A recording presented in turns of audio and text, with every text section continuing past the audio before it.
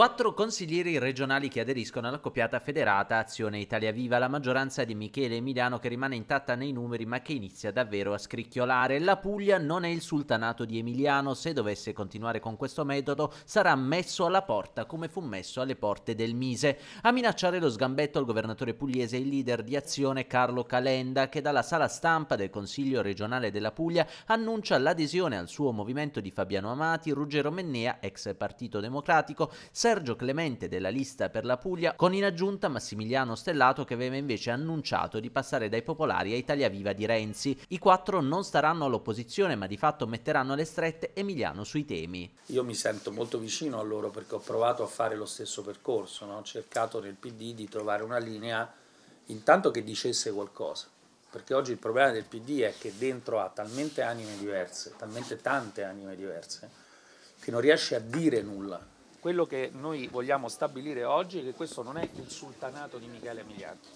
ok? È un posto libero, una grande regione italiana che può essere assolutamente il traino del mezzogiorno perché è una delle regioni più moderne del Mezzogiorno. Calenda è poi tornato sulla candidatura di Massimo Cassano alle scorse politiche, lo definisce un errore, chiarendo che l'ex Forza Italia prenderà comunque un percorso diverso da quello di Azione. A prendere le redini qui in Puglia del movimento sarà invece proprio Amati, tra le principali voci critiche di Emiliano negli ultimi mesi.